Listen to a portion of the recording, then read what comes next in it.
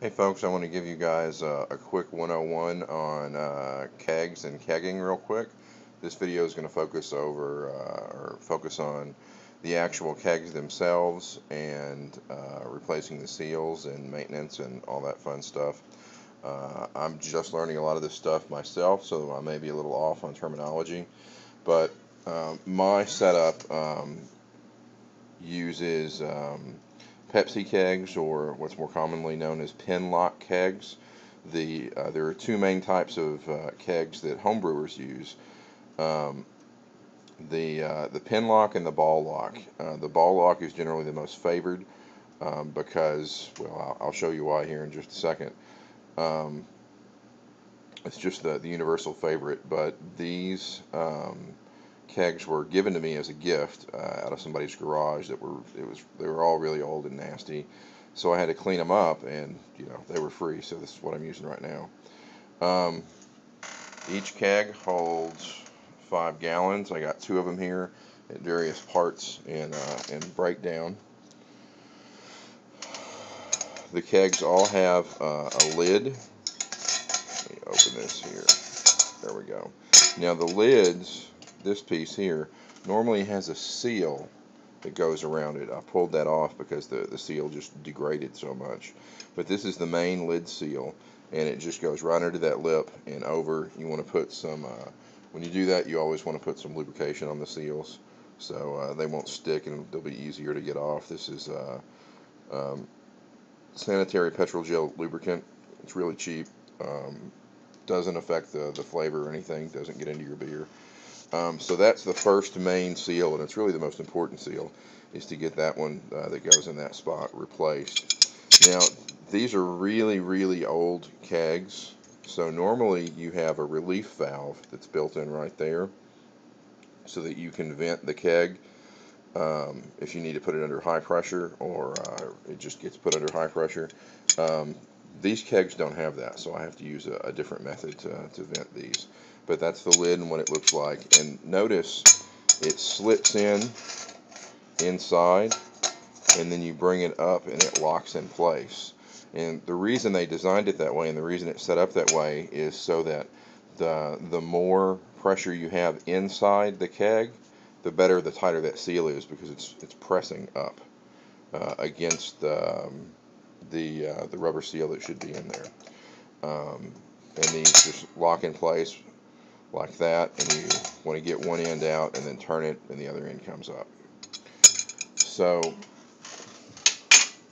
the uh, oh here's another this is the other design that came with um, for the lid that came with these kegs.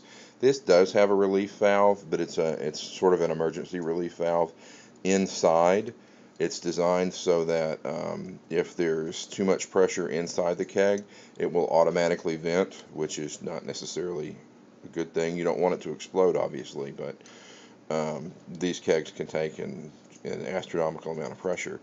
Um, so, yeah, uh, this lid actually has one of those. I'm not too fond of that because if I'm doing forced carbonation, which I'm going to do a video on later, uh, that can be problematic. So. Uh, but that's what the other one looks other ones look like. Uh, I'm going to eventually get some newer kegs uh, when I need to or trade these out or something that'll have the, the manual. There's usually a little plastic flag on this thing that'll let you uh, vent the, the gas as needed. So those are the lids and the other pieces you want to look at are these. These are called the posts. Now these are pin locks and you can actually see the pins on here. There's one right there sticking out, and there's one right there, and there's one right on the other side. So that's the liquid side. It's got a dip tube in it. I'm not sure if you can see that. No, you can't, but I'll show you. You can kind of see that in there. There's a tube in there that goes all the way down to the almost the very bottom of the keg. so that's the, the liquid side. This is the gas side. And for a pin lock, these always have two pins. There's one right there but the pin on this side is broken, so I'm going to have to get a wrench and actually get this off. These kegs were really, really old and nasty, so the, the threading on those just completely seized up. But when you get these posts off, And I'll, I'll have some uh, close-ups of the uh, posts that have already been removed that I'm going to show you guys in just a second. When you get those off, it basically looks like this. This is your liquid tube or your, your dip tube, whatever you want to call it, that fits right down in there on your liquid side. And notice it's got a seal right there. This is the original seal that came with it, and boy, is that sucker degraded. So that's one of the seals we have to put in there, or that we have to replace. So, and you would just slide that seal off and then put some lube on a, a, a new seal. I would lube it up here. See, it's got that little flare out on the tube. I got to finish cleaning this one. I haven't completely cleaned it yet. It's got that little flare out right there. And that flare out basically sandwiches there's the, the old seal right there it basically sandwiches that flare or the, the seal between that um, that neck right there the, that's a threaded neck that actually holds the post on so when you attach the post that puts pressure on that seal and it maintains the the liquid seal uh, from the outside to the, the inside of the post. Now this side, uh, I'm actually missing it on, uh, this side actually has a very short tube, it's about that long, just enough to, to put a seal on and have it go in. Uh, but this is the gas side, so there's no tube going down. Uh, normally the gas stays up here on top. And the, the mechanics of how this works is you put gas in on the top of the keg, and you've obviously got liquid in there, uh, beer or soda or whatever. And as the gas pushes down on the liquid, the liquid goes in the bottom of the dip tube down there and comes up here and goes out to your uh, your faucet. So that's the general mechanics. However, and I'm going to demonstrate this in a video, if you you can switch the uh, the inputs and if you're carbonating something, uh, you're, you're force carbonating it, you would actually want to hook, uh, for best results, you would want to hook the, um, the gas line up to the dip tube and force gas uh, into the um, into the liquid so that the, the gas comes out the bottom of the tube at the bottom and is forced to bubble up through the liquid. Uh, the more contact or agitation you have between the gas and the, um, the liquid when the liquid's really cold, the faster that CO2 is going to go into solution. Uh, but that's more of a uh, kind of an advanced trick, and I'm going to go over that in a completely separate video.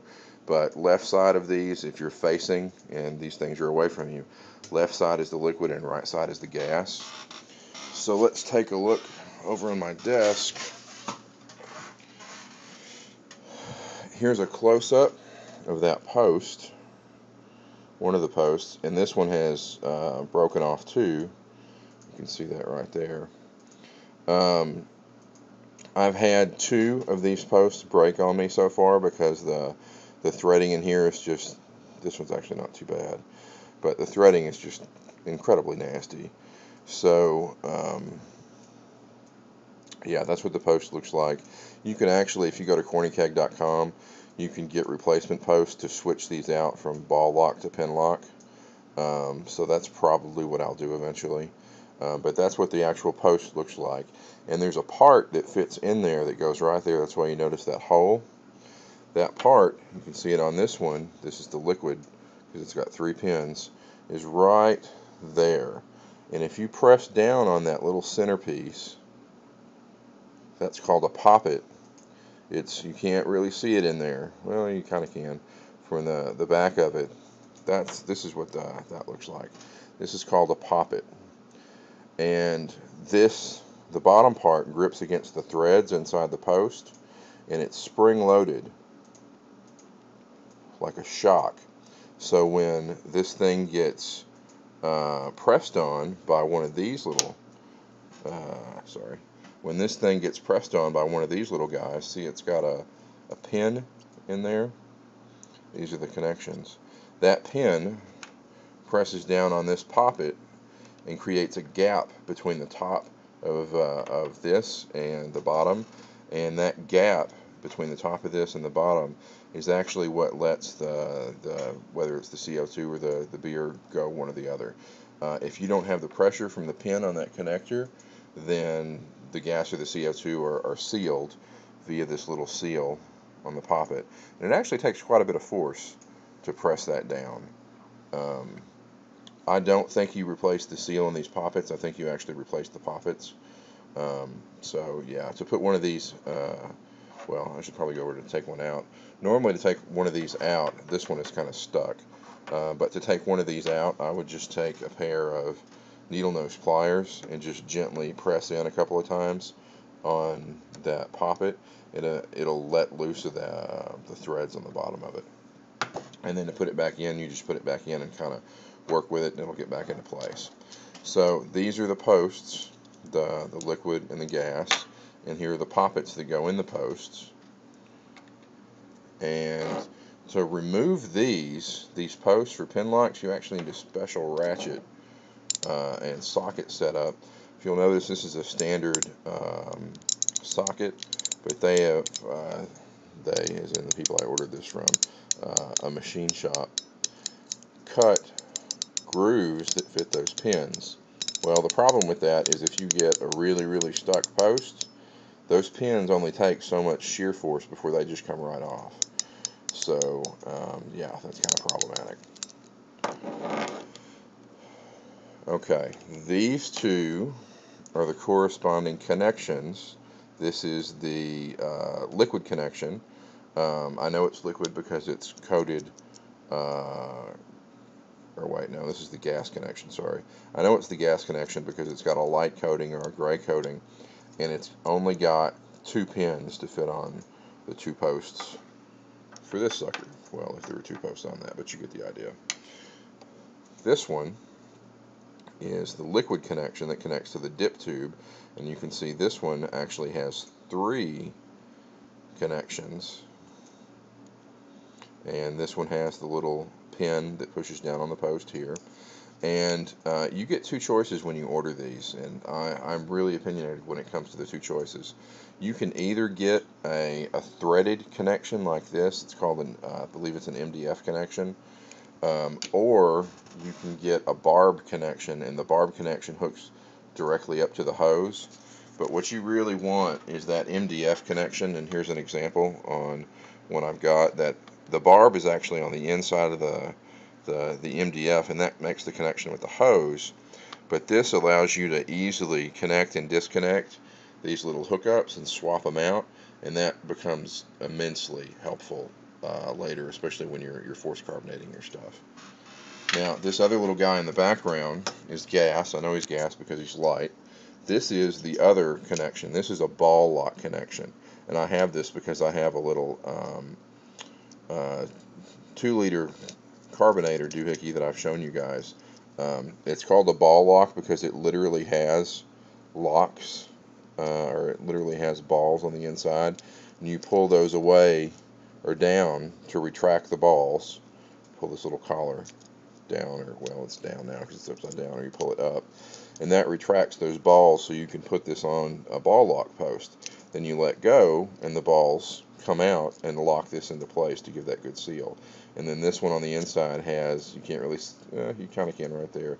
There's that same little post that, um, or pin that pushes down on the poppets for this. So really the only difference uh, between the two is whether you're using pins to hold these connectors in place or whether you're using balls to put them in place. But the good thing about the ball locks is there's really no breakable parts. So I'm not you don't, you're not going to have to replace those posts very easily. Um, for the ball locks, um, you can see on just this is actually a pin lock post, but you can see these things are set up to take a wrench so you can use a wrench to pull these off. Um, you just can't use a wrench on the pin locks because the pins are in the way. Um, so you, you're forced to use that socket. Um, so yeah, that's what this is all about. Um, okay, so that's your connectors, your posts, uh, poppets, and we went over uh, a couple of the seals. Um, uh, the other location on these posts to put a seal is right there. you want to put uh, a seal right in there and I'm gonna I actually have a, a seal kit replacement set up over here this large seal goes on the um, the lid for the keg and then these uh, one step smaller seals go around that lip one on each post and then these tiny seals the small ones go on the dip tube that I showed you uh, one on either side uh, underneath the posts. So if you get those lubed and you get those replaced on your your kegs, um, I think uh, I read somewhere that those kegs or these seals last two to three years under normal use. Uh, just make sure you lube them up really good so they don't stick, and you're good to go. You can get a two pack of kegs um, from uh, actually we don't have two packs of kegs. You can get these kegs from our website on uh, byokeg.com or bringyourown.keg.com. Uh, either one of those addresses will work. Um, my next video is going to show you guys how to force carbonate one of these suckers um, so you can get your beer ready to go easy and fast.